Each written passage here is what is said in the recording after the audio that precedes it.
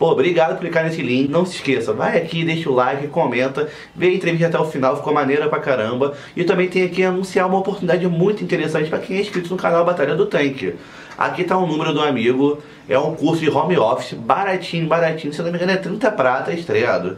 E como? É muito interessante para você que está em casa, sem renda, quer ajudar a família, ou perdeu o emprego nesse momento de pandemia. É um curso, antes de vir aqui anunciar, eu fui, dei uma lida, olhei, então eu recomendo, porque eu peguei um exemplar, algumas coisas eu não fazia, então aprendi muita coisa, e mano, é 30 reais. Então, ó, o número do cara tá aqui, descrição também, entra em contato e vamos até o final. Salve rapaziada, eu sou Rafael Walter, quadro Direito de Resposta aqui no, no canal do Batalha do Tanque. Satisfação. Cara, meus projetos aqui no Rio envolvem tanto meu canal quanto o canal do meu irmão, tá ligado? A gente vai fazer alguns conteúdos juntos, assim, pra criar essa família mesmo, essa parada dos Walter aqui no Rio, tá ligado? O clã Walter. O clã Walter, que a gente falou na entrevista.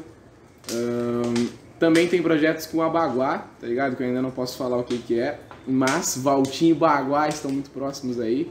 Será que é música? Será que é música? Será que será é vídeo? Será que é um apresentador de algum programa Será novo? que é o quê? O que será?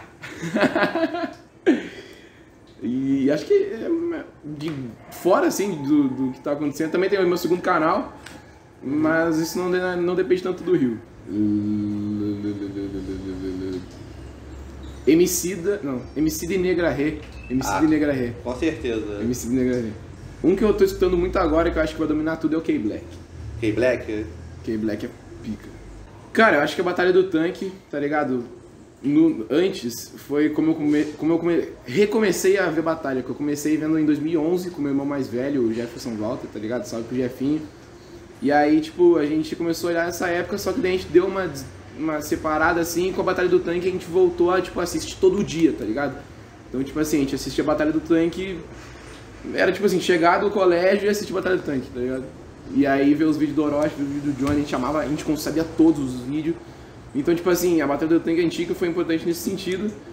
E hoje eu vejo a Batalha do Tanque numa fase de renovação, tá ligado? Eu acho que a Batalha do Tanque ela é muito importante porque ela, como eu falei, tá ligado? Ela, tá, ela traz nostalgia para muita gente. Porque ela foi fundamental para todo mundo ficar viciado, tá ligado? Em batalha. Então eu acho que a Batalha do Tanque, hoje em dia, ela tem uma função muito importante de voltar com a cena do Rio de Janeiro em peso forte e o bagulho doido. Caralho. Mano. Orochi. Orochi. Hum, já. Mas do que que foi?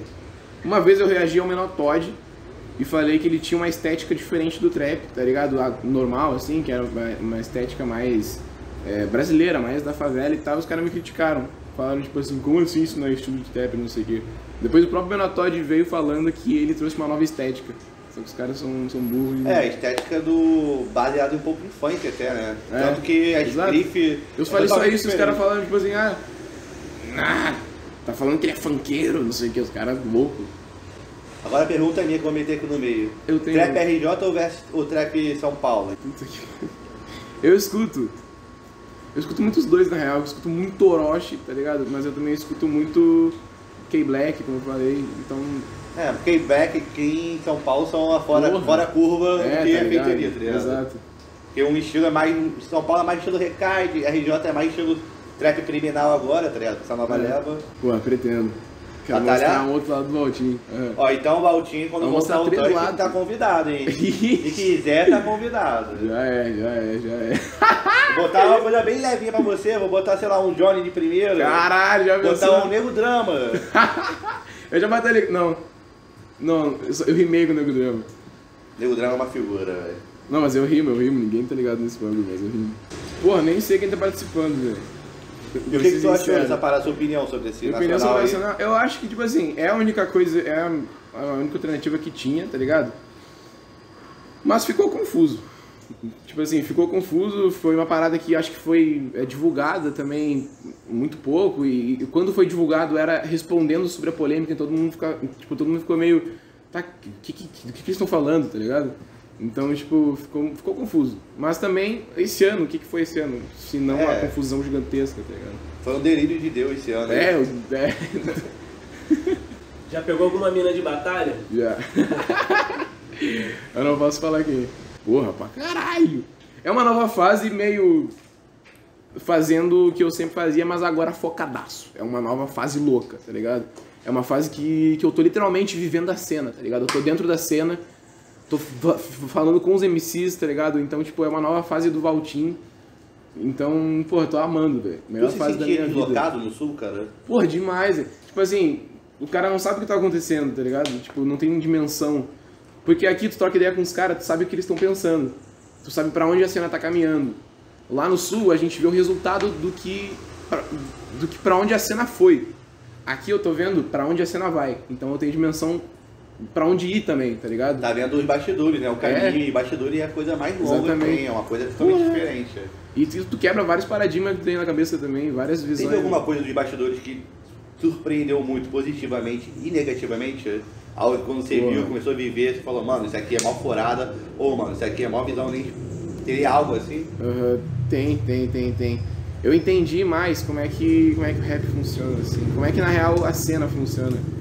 Como gerar atenção, tá ligado? Tipo, certas coisas que o cara achava antes que era resultado natural, é um resultado pensado.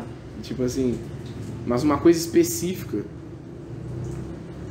Pô, só ver os bastidores de uma live do Xamã, tá ligado? Já, já é uma coisa que tua mente explode, assim. Tu vê ele, ele entrar. Tudo bem que ele é o Xamã, só que também ele é o xamã pro vídeo. Então tu vê essa mudança, tu, tu, tu vê que, por exemplo, o Neo Beats, ele tá, ele tá aqui, ele vive normal, e, e como é que é o processo criativo dele para gerar um beat, por exemplo. Às vezes ele, ele tem uma experiência X que, que aí ele. que isso desencadeia ele escutar um estilo de música que gera um beat, tá ligado?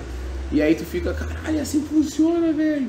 E aí os caras no estúdio aqui na resenha, do nada cola, sei lá, o da Paz, cola não sei quem, tu fica, nossa, velho, esses caras se conhecem. Você nem É. imaginava os bastidores, É, porque tá não é só Instagram. É, exato, exato. exato. E é teve algo negativo? Algo que falou, caralho, que merda, é tão escroto. Ah, me decepcionar, tipo assim, tu achar que uma pessoa é uma coisa e ela ser outra. Eu Acho que isso, é- esse é o. Tipo assim, achar que um cara era de boa e tu vê que um cara é um bosta. tá é, ligado? sempre tem, né, mano? E uns caras que tu achava que eram um bosta, na real são, são de boa.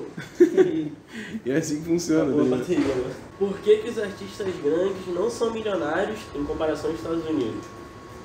Ah, eu acredito que tem vários fatores, na verdade. Tipo assim, tem o fator do Spotify, né, que a gente tava conversando agora, tipo, o Spotify lá paga melhor. Tem a questão de que o, o custo de vida lá é mais baixo e eles ganham paralelamente e mais, muito mais do que os caras aqui, só que em dólar e com custo de vida menor, tá ligado? Então, tipo assim, eles estão no país do consumo, onde tudo é barato, então eles têm um estilo de vida muito mais foda, tá ligado? E eles fazem shows mais caros, eles ganham mais dinheiro em patrocínio, porque eles vivem na terra do entretenimento, eles vivem na terra do marketing, na terra do dinheiro. Tem mais dinheiro no mercado, lá o mercado é mais bem entendido. Então, vários fatores. Vai lançar um som quando? Vou lançar um som quando? Essa aí. Será que tem? Será que eu vou lançar? Será Douglinha de Sá? O Douglinha de Sá modificado ali. Véi, eu tenho interesse em lançar música, tá ligado? Música eu acredito que seja uma maneira muito foda de se expressar. O vídeo também é. E como vídeo eu já tô, já tô criando o lado do Valtinho, eu quero mostrar também um outro lado do Val, um terceiro Valtinho, que tudo é o mesmo Valtinho, mas tipo assim, são várias vertentes, né? E a música é uma delas. Sabe o que eu pensando quando você fala isso? Imagina o Marco do Giante feat Rafael Walter. Pô, quem No sabe? mundo do trap. Quem sabe um Isso, feat eu- das isso eu ia querer ver. Quem Isso ia- sabe? Isso é, porra, isso ia ser foda. Aí, Marco dos Anjos. Marco dos Anjos tá em casa dessa vida, eu sigo bem. Mas enfim, é isso. Tamo junto. Até o próximo vídeo.